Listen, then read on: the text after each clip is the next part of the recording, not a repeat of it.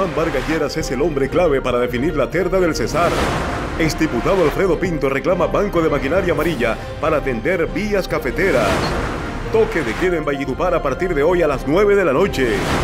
Siete templos católicos abrirán sus puertas este domingo en Valledupar. Falleció Fidelina Redondo, la matrona de los queques, chiricanas y dulces de Valledupar. Asesinan a un hombre en la vía que de La Vega conduce a Patillal, al norte de Valledupar. Dos accidentes de tránsito en los municipios de Pelaya y Codazzi dejó como saldo dos personas muertas y una gravemente herida. Capturan a un hombre cuando cometía un hurto en el balneario Hurtado. Un juez lo envió a la cárcel por el delito de hurto agravado y porte ilegal de armas de fuego. Compositores colombianos respaldan la labor de Saico. Indupal realizó siembra de 100 árboles en el Parque del Barrio Panamá. Somos RTA Noticias. Síganos en todas las redes sociales. Hola, ¿qué tal? Buenas noches, bienvenidos a las informaciones en RTA Noticias. Hoy es viernes y estamos listos para presentarles todas nuestras informaciones. Indudablemente la noticia política tiene que ver con la conformación de la terna que será enviada al presidente de la República para reemplazar a Luis Alberto Monsalvo. ¿Habrá terna? ¿No habrá terna? Eso es lo que precisamente se discute en estos momentos aquí en el departamento de Cesar. Por lo pronto, hagamos este análisis político sobre la terna.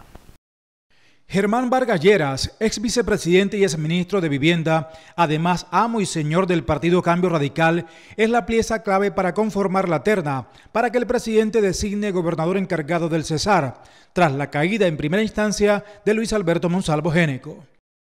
Ya el partido de la U se perfiló por el nombre del actual gobernador encargado Wilson Solano Gracia, para incluirlo en la terna y parece que esa ficha ya está sobre la mesa y será la única que se jugará en esa colectividad. Por los lados del Partido Liberal hubo aclamación de los liberales del Cesar por el nombre de Arturo Calderón Rivadeneira, asesor de despacho de Monsalvo Géneco y buen orador en tarima.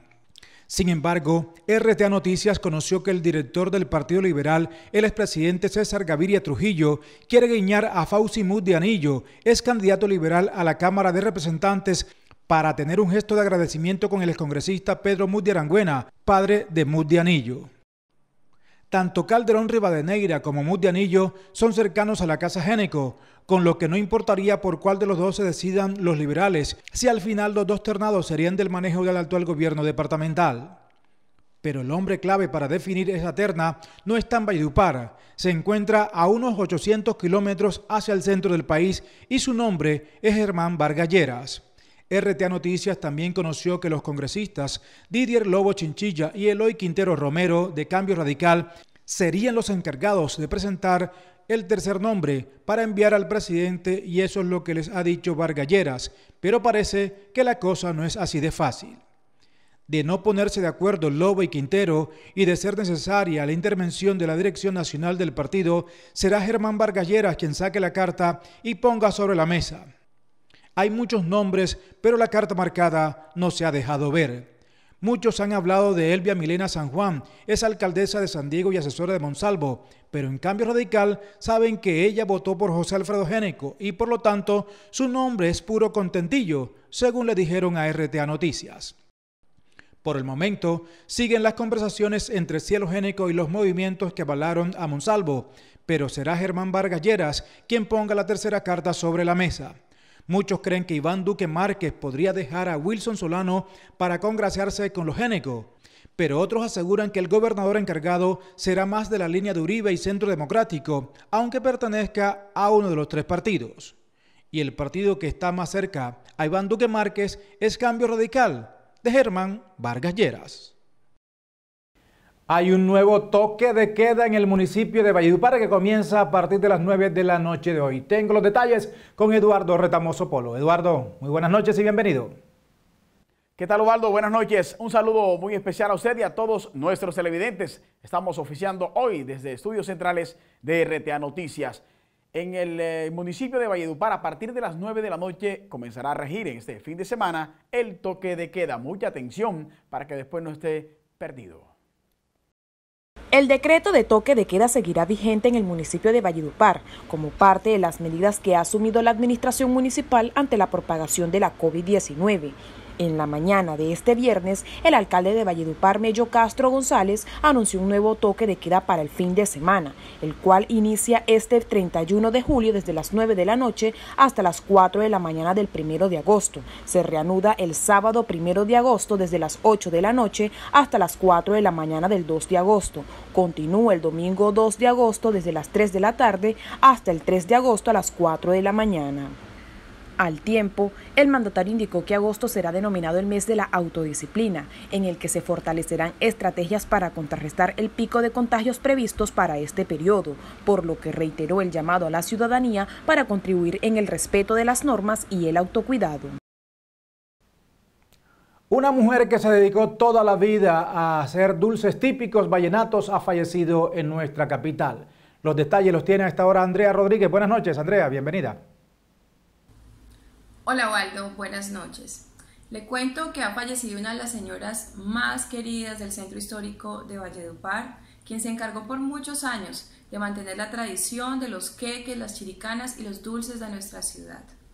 En sentido a Dios, para Fidelina Redondo, paz en su tumba. Con el paso de los años, los viejos vallenatos van dejando este mundo y llevándose a la eternidad historias de leyendas, culinaria, música y tradición de un pueblo sembrado a la orilla del río Guatapurí. El turno esta vez es para Fidelina Redondo, una mujer hecha de dulzura, según el periodista Enrique Camargo Plata, porque ella toda su vida la dedicó a preparar dulces típicos, panochas, merengues, chiricanas y otras delicias de la región. Acabamos de despedir a un personaje de Valledupar, una persona que cultivó la gastronomía vallenata, Fidelina Arredondo, más conocida como Fide, ahí en la calle de la Garita. El periodista de Radio Guatapurí, Enrique Camargo Plata, quien nació y creció en la zona de la calle 17 con carreras cuarta y quinta, dijo que Fidelina es toda una institución de la dulcería vallenata. Toda una vida disfrutando de sus delicias, los dulces de leche, maduro, coco, coco con piña, toronja, sus otros productos deliciosos como las panochas, los merengues. Fidelina Redondo construyó su imperio del dulce en el sector conocido como La Garita, en el centro histórico de Valledupar, y sus creaciones culinarias trascendieron el universo vallenato y traspasaron las fronteras de un país mágico en gastronomía. La señora Fidelina Arredondo era una mujer que representaba la integración de la vallenatía, la tradición de los barrios del centro de Valledupar, particularmente el sector de La Garita, el Cerezo. Una señora que eh, albergaba todo el vecindario. Iván Morón Cuello, abogado y periodista, asegura que Fidelina deja un gran legado culinario que no se puede perder. La señora Fidelina es una pérdida irreparable, pero ella dejó un legado y dejó enseñanzas a las mujeres que hoy continuarán forjando esa labor inconmensurable que no podemos olvidar jamás. Propone Morón Cuello que se haga un esfuerzo institucional para que se mantenga la tradición y la vocación de trabajo de los abuelos vallenatos. A través de un esfuerzo que se trace de esas políticas se pueden irradiar acciones en los planes de desarrollo para que se mantenga esa tradición y no se pierda la vocación del trabajo que distinguieron a nuestros abuelos y particularmente el caso de la señora Fidelina. El alcalde Mello Castro lamentó el fallecimiento de Fidelina Arredondo y envió un mensaje de solidaridad a su familia. Nos duele la partida de doña Fidelina Redondo, ejemplo del antiguo Valledupar, emprendedora, entregada, quien forjó a su familia elaborando durante 60 años dulces típicos y tortas, dijo el mandatario en Twitter. Según la investigadora Guiomar Lucía Guerra, de mesa en mesa, de patio en patio, en Valledupar, entre otras, nos ufanamos de los dulces de Fidelina Redondo, heredera de su mamá Nicolasa Gámez, Villanuevera, quien con su esposo Sisto Arredondo llegaron a Valledupar en 1937. El viaje de Villanueva al Valle lo hicieron en burro por el incipiente desarrollo de las vías de comunicación. Valledupar recordará a Fidelina como una mujer hecha de dulzura, recuerdo que perdurará por siempre. Paz en su tumba. Se ha realizado aquí en Valledupar una mesa técnica para analizar la situación de seguridad y también de orden público que enfrentan los líderes sociales de nuestro departamento. La mesa técnica de seguridad liderada por el director nacional de la Unidad de Protección el Cesarense, Alfonso Campo Martínez, se centró en la seguridad y protección de los líderes sociales del departamento. Nuestro propósito es proteger la vida y esa es la misionalidad que tenemos y en ese aspecto debemos ser eficientes y diligentes. En este encuentro participaron autoridades de los entes territoriales, además de funcionarios de organismos de seguridad e investigación del Estado, todo con el objetivo de conocer un informe de cada entidad sobre un tema de interés general en la región y de exigencia para el gobierno. Lo importante al final de estos procesos es que sean procesos serios, objetivos, donde se, haya todo donde se haga todo el acompañamiento de, de la Policía Nacional, quien viene adelantando los estudios de seguridad. Para el personero de Valledupar, Silvio Cuello Chinchilla, se necesita la unidad para proteger a los líderes sociales. Buscarle la protección, garantizarle a los líderes sociales del municipio de Valledupar, llámese como se llame, venga donde venga, pero que estén luchando por sus comunidades, brindarle su protección. Por más de dos horas se conocieron detalles de orden público en el departamento y se trazaron tareas para cada uno de los organismos presentes en el encuentro. La alcaldía de Valledupar autorizó la operación de varias iglesias católicas y cristianas evangélicas de Valledupar como piloto para mirar el comportamiento de los feligreses. Luego de cuatro meses de Eucaristías virtuales por la pandemia de la COVID-19, los feligreses podrán volver a los templos a partir de este domingo 2 de agosto, luego de que el gobierno municipal aprobara la reapertura de siete templos católicos de Valledupar. Es de aclarar que la reapertura se realizará cumpliendo los protocolos de bioseguridad planteados por el Ministerio de Salud. Los planes pilotos acordados con la Secretaría de Gobierno de Valledupar establecen reglas claras para la actividad y la autoridad hará estricto seguimiento al cumplimiento de los mismos. Dentro de los protocolos establecidos, solo se permitirá un aforo de 50 personas por Eucaristía, quienes tendrán que hacer un registro previo en la aplicación o en la página web www.laiglesiamecuida.com, donde deberán reservar su cupo y la iglesia hacer uso del tapabocas todo el tiempo, guardar distanciamiento social dentro y fuera del templo de dos metros, esperar al sacerdote en su puesto para recibir la comunión, saludo de la paz simbólico, evitar aglomeraciones y toma de temperatura corporal. Las siete iglesias que reabrirán sus puertas son la Parroquia Inmaculada Concepción, La Natividad, Santa María del Camino, San José Obrero, Nuestra Señora del Carmen, Inmaculada Corazón de María y la Catedral de Santo Esiomo. Con dos impactos de bala en su cuerpo, una persona fallada muerta en la vía que del corregimiento de La Vega conduce a Patillal, al norte de Valledupar. Investigadores de la SIGIN realizaron el levantamiento e inspección técnica al cadáver de un hombre que fue hallado tendido en la vía que une a los corregimientos de La Vega con Patillal, exactamente en el kilómetro 20 más 200 al norte de Valledupar. Esta persona, según reportaron las autoridades, presentó dos heridas con impactos de arma de fuego, uno en su rostro y otro en el tórax. La comunidad indicó que a un costado del cuerpo sin vida habían ocho vainillas de pistola calibre 9 milímetros.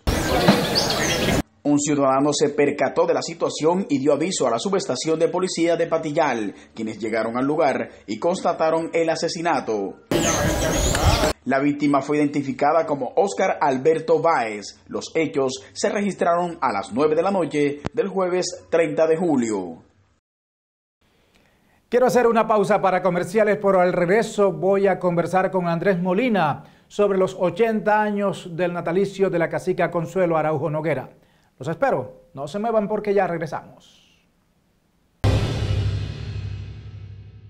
Llega la super quincena de Supergiros. Por cada giro que envíes o recibas, tienes la oportunidad de ganar una de las 200 super quincenas de 500 mil pesos que Supergiros tiene para ti. Pues me siento muy feliz al recibir la noticia que me gané 500 mil pesos, le doy las gracias a Supergiro Y invito a las personas que sigan usando los servicios de Supergiro. Mercado, hace mercado para la comida porque con la cuestión de la pandemia, el COVID-19, la cosa está dura. Toca asegurar la comidita. Yo los invito a que sigan haciendo giro a Supergiro para que entren en, la, en el sorteo de los quincenazos, que ganen 500 mil pesos, así como me los gané yo. ¿Para qué giros cuando hay Supergiros? Aplica condiciones y restricciones. Colaborador autorizado. Vigilado Minty. Si necesitas buscar, comprar o llevar, o llevar o traer lo que quiera, Doña Aliados Fucsia. WhatsApp 315-215-6851. Doña Aliados Fucsia. Con el respaldo y confianza de Franja Fucsia. Doña Aliados Fucsia. WhatsApp 315-215-6851. Doña Aliados Fucsia. Doñita, esos frenos le quedaron finos. Será su abuela. No se ven muy excelentes. Esto no frena. ¿Quién que los frena?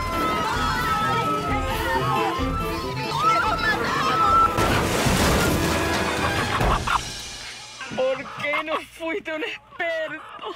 Frenos y Servicios del Valle. Somos los expertos en frenos, suspensión, rodamiento y amortiguación. Visítanos para atenderte con todos los protocolos de bioseguridad. Carrera 16, número 2335, Avenida Pastrana, Barrio 12 de Octubre. Teléfono 571-0405. Deja tu carro como nuevo. En Frenos y Servicios del Valle. Los expertos.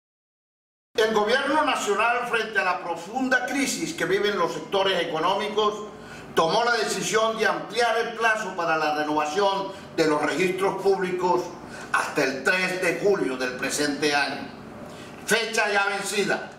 La Cámara de Comercio de Bayupar para el Valle del Río Cesar convoca a todos microempresarios y empresarios a cumplir con esta obligación legal para evitar las sanciones que impone la Superintendencia de Industria y Comercio que pueden llegar hasta los 17 salarios mínimos legales mensuales vigentes al momento de imponerse la sanción.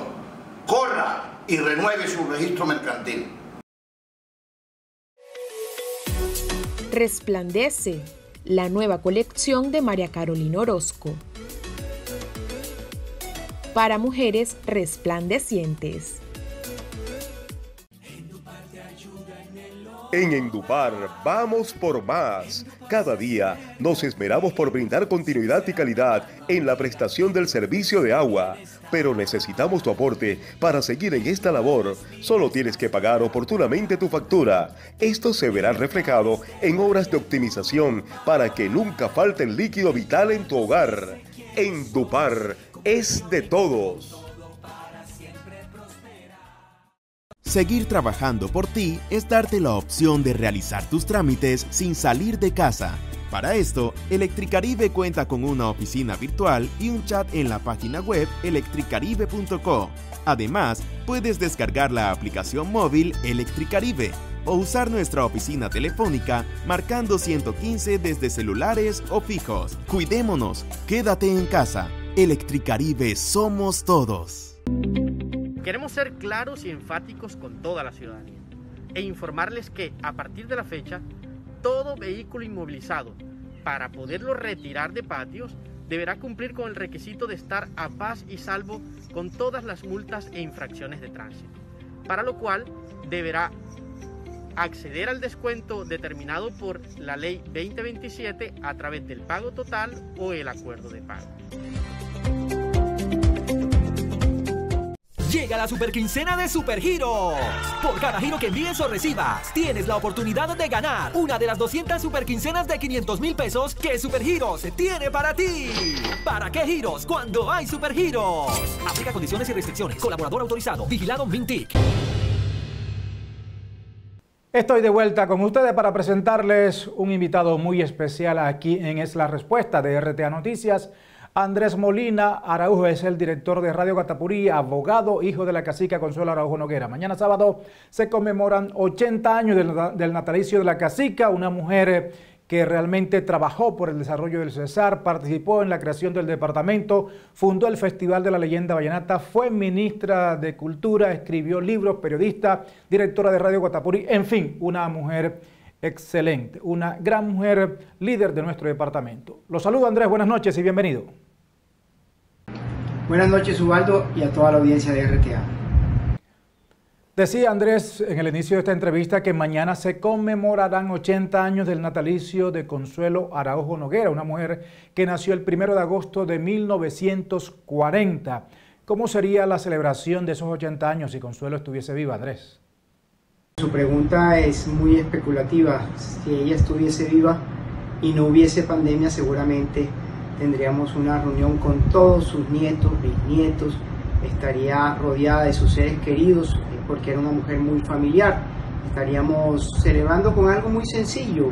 Realmente ella no era una persona de, que le gustasen las cosas tan recargadas o rimbombantes, le gustaba y disfrutaba el placer de lo sencillo. ¿Y cuál cree usted que es el legado que nos ha dejado Consuelo Araujo Noguera?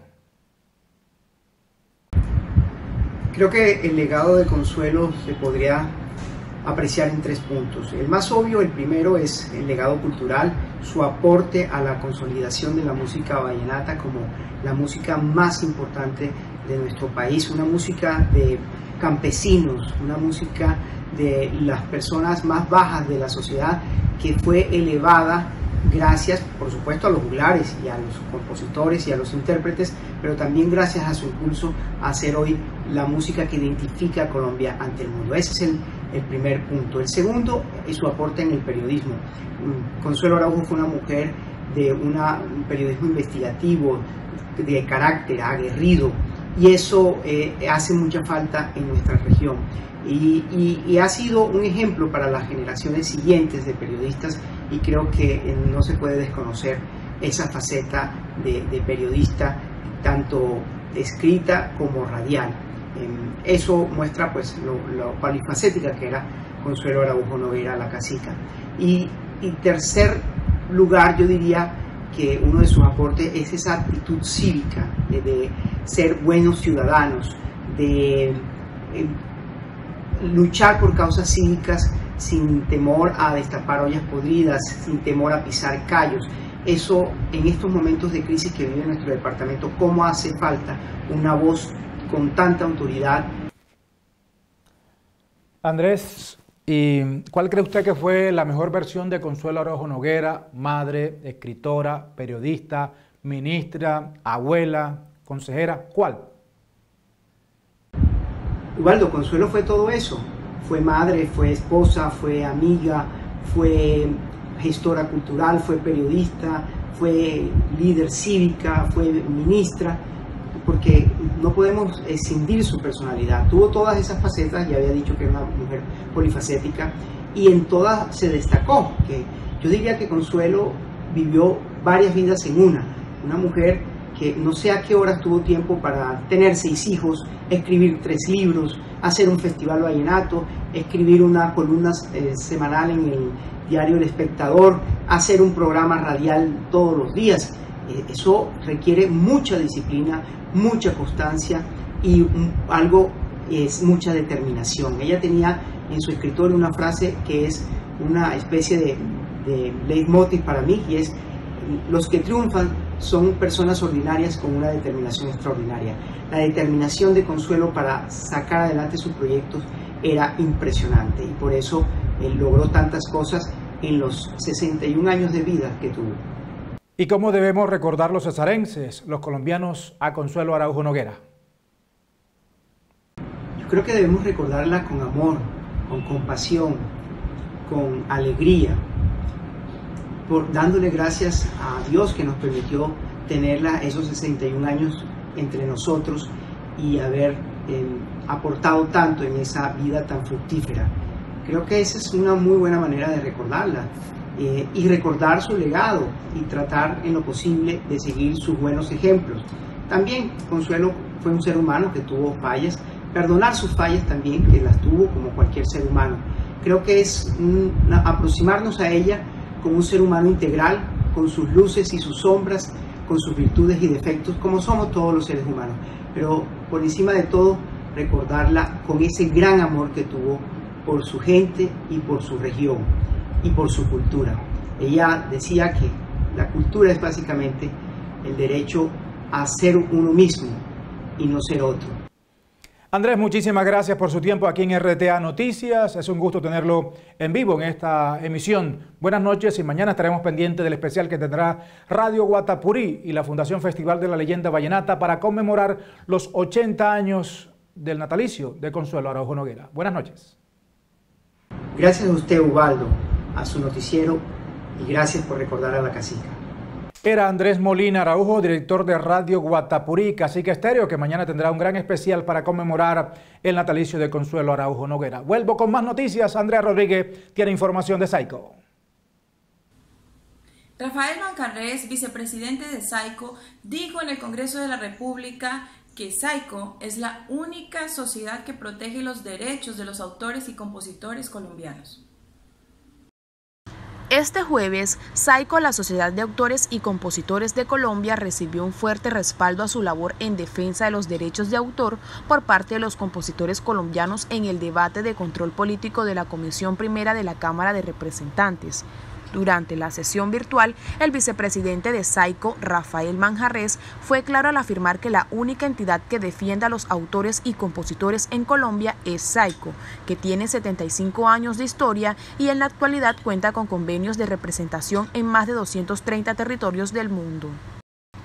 De igual modo, el cantautor de música vallenata y participante del debate, Ivo Díaz, apoyó el trabajo de Saico ante los señalamientos a esta entidad y expresó que en este tiempo de pandemia es cuando más se ha sentido el apoyo de la entidad. Así debes pagarle también a Saico como ordena el gobierno. Por su parte, el compositor de bandas sonoras de la televisión colombiana Nicolás Uribe aclaró que la responsabilidad del bienestar social de los autores y compositores no recae sobre Saico, sino sobre el Estado, y resaltó el completo programa de apoyo de Saico en materia de salud y auxilios económicos en favor de los compositores colombianos. El gerente César Ahumada aclaró que estas no son desmedidas ni desproporcionadas y son cobros acordes a la realidad del uso de las obras. Explicó que Saico en 2019 recaudó 117.062 millones 658 mil pesos y distribuyó 78.208 millones 741 mil 561 pesos, dinero que se destinó exclusivamente a los artistas y compositores, lo que se puede evidenciar por los testimonios de miles de asociados que respaldan la labor de Saico en beneficio de los derechos de autor de sus legítimos dueños. La directora de la Dirección Nacional de Derechos de Autor, Carolina Romero, enfatizó que su entidad cuenta con un programa de auditoría anual a Saico, que se hace dos veces al año, además de otras actividades de control. Al finalizar el debate, Ivo Díaz cantó la composición de Andrés López Bolaño, en el que a ritmo de vallenato recuerda que las canciones son propiedad privada y quien quiera usarlas tiene que pagar. Y en RTA Noticias tenemos más información. Un accidente de tránsito despertó a los habitantes del barrio Gaitán del municipio de Pelaya Cesar, exactamente en la calle 10, con carrera 8 de esa población. El choque se produjo a las 6 y 30 de la mañana de este viernes 31 de julio. En el hecho perdió la vida Santiago Quintero Gómez, de 29 años de edad, quien impactó su motocicleta contra la parte trasera de un camión que se encontraba estacionado en un parqueadero. Esta persona falleció en el lugar de los hechos a causa de las graves heridas que sufrió. La víctima se movilizaba en una motocicleta color negro, marca FZ250, de placas BBE 19F. El levantamiento e inspección del cadáver estuvo a cargo de la Unidad Básica e Investigación Criminal de la Policía Nacional. En el municipio de Agustín Codazzi se registró un accidente vial que dejó a una persona muerta. Este hecho está siendo investigado por las autoridades. La madrugada de este viernes 31 de julio, siendo aproximadamente las 3 de la madrugada, se registró un fuerte accidente de tránsito entre dos motocicletas en el municipio de Agustín Cobasi, el cual dejó como saldo una persona fallecida y otro ciudadano gravemente herido. La víctima fatal fue identificada como José David Bolaño Zapata, de 25 años de edad, quien al parecer llegó hasta el hospital de esta población sin signos vitales. Por su parte, Andrés Mendoza, también de 25 años, fue el otro implicado en el accidente y presenta lesiones de consideración en el tórax, nariz y ojo izquierdo. Esta persona fue trasladada hasta un centro asistencial de la ciudad de Valledupar. Las autoridades investigan las causas de este accidente que cobró la vida de José Bolaños y tiene gravemente herido a Andrés Mendoza. Es la hora de hacer una pausa de comerciales en RTA. Ya volvemos con más información. Clínica Erasmo. Somos pioneros en servicios especializados en traumatología en toda la región. Asistencia con la más alta tecnología. Unidad de cuidados intensivos polivalente.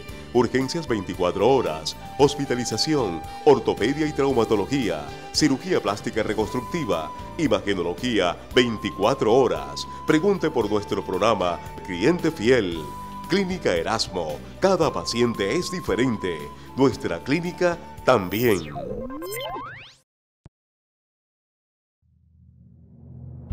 Albert, Landy, María Ángel, Eduardo, Jaime, Madi, Adriana, Freddy, Lorena, Iván, Dayanis. Todos ellos y muchos más hacen parte del equipo de héroes de Supermercados Mi Futuro. Con su valentía y esfuerzo, abastecen a cientos de personas diariamente a pesar de las adversidades. Ellos son el motor que lleva la esperanza de un mejor mañana. Hoy, Valledupar y Supermercados Mi Futuro, les decimos gracias. Muchas gracias.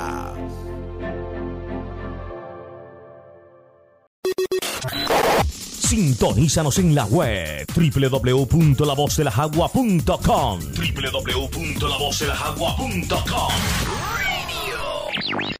Llega la super quincena de Supergiros. Por cada giro que envíes o recibas, tienes la oportunidad de ganar una de las 200 super quincenas de 500 mil pesos que Supergiros tiene para ti. Pues me siento muy feliz al recibir la noticia que me gané 500 mil pesos. Le doy las gracias a Supergiro y invito a las personas que sigan usando los servicios de Supergiro. Mercado, hace un mercado para la comida porque con la cuestión de la pandemia, el COVID-19, la cosa está dura.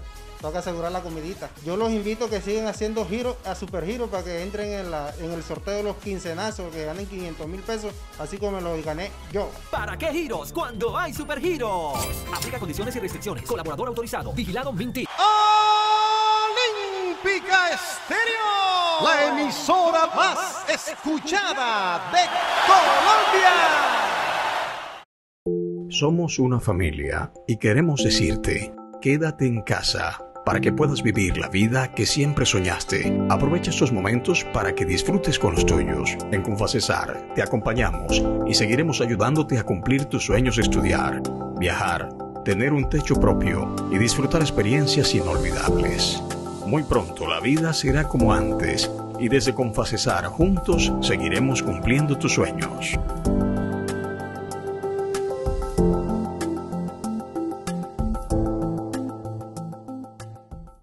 Constructora Carvajal y Soto entregará próximamente las dos primeras torres del moderno edificio Las Cayenas, ubicado en la zona de mayor desarrollo urbanístico de la ciudad. Las Cayenas, un edificio progresivamente inteligente, con cuatro torres, amplios espacios y acabados espectaculares. Te mereces lo mejor. Te mereces vivir en Las Camelias, el nuevo proyecto urbanístico de Carvajal y Soto. 33 espectaculares apartamentos para vivir bien. Otro proyecto exitoso de constructora Carvajal y Soto.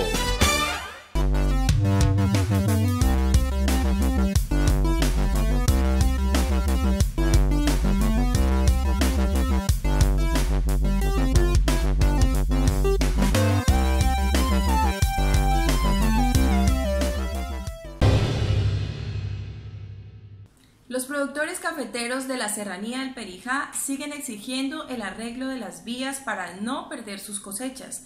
El exdiputado Alfredo Pinto habló con RTA Noticias sobre este tema. Mirar el video este que nos enviaron de la zona rural del municipio de La Paz y específicamente de la vereda Gota Fría, estamos muy preocupados. Y estamos preocupados sencillamente porque en dos meses se inicia la cosecha cafetera. Y como pueden observar ustedes, la red de vías terciarias del departamento del Cesar se encuentra en unas condiciones lamentables. Por eso quiero aprovechar la oportunidad para so- solicitarle muy respetuosamente eh, al gerente del Banco de Maquinaria del departamento del Cesar que mire a ver cómo podemos ayudar a estos productores y que el señor alcalde del municipio de La Paz, a través de sus buenos oficios, puedan eh, hacer un convenio interadministrativo pero lo importante es que hagamos la gestión que sea pertinente y necesaria para ver cómo ayudamos a estos productores. Y igualmente la infraestructura vial del departamento del Cesar de vías terciarias en todo el departamento está en unas condiciones tristes y lamentables. Así que yo agradezco esta bonita oportunidad y hacemos este llamado muy respetuosamente para que se tomen las medidas que sean pertinentes a ver cómo le ayudamos a los caficultores del departamento del Cesar. Muchísimas gracias y que tengan todos una feliz tarde. En flagrancia fue capturada una persona cuando cometía un atraco en el balneario Hurtado. Uniformados del Grupo de Protección al Turismo y Patrimonio Nacional del Departamento Policía Cesar logró en las últimas horas la captura en flagrancia de un hombre que acababa de hurtar dos celulares. Las voces de auxilio de unos deportistas alertaron a los policías de servicio en el sector del balneario Hurtado, los cuales observaron a un sujeto que huía. Las personas manifestaban que el hombre estaba armado y que les había quitado dos celulares. El capturado fue identificado como Freddy Orlando Gaviria Cardona, de 38 años de edad, a quien le fue hallado en su poder un arma de fuego tipo revólver calibre 38. Asimismo, se le incautaron los dos celulares que acababa de hurtar. Gaviria Cardona fue dejado a disposición de la Fiscalía General de la Nación para que respondiera como posible autor de los delitos de hurto agravado y porte ilegal de armas de fuego. En la audiencia, un juez le dictó medida de aseguramiento en centro carcelario al ser considerado un peligro para la sociedad.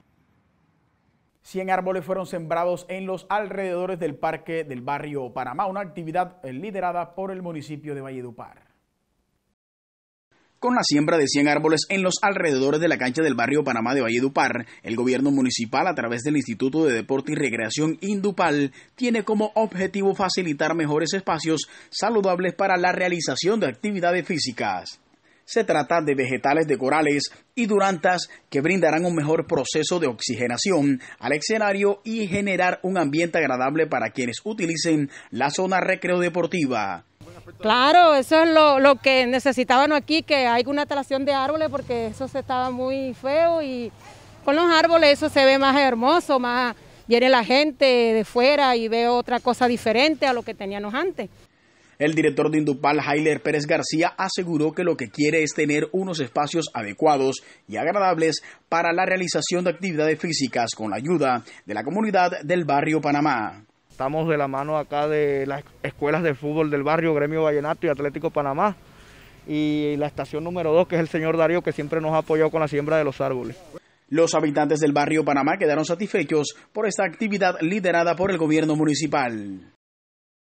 Terminamos esta emisión de RTA Noticias. Ha sido un placer estar compartiendo con ustedes esta semana informativa. En nombre de Eduardo Retamoso Polo, de Andrea Rodríguez y de todo el equipo periodístico de RTA Noticias, les deseamos buen fin de semana, buen comportamiento. Nos vemos el próximo lunes. Buenas noches.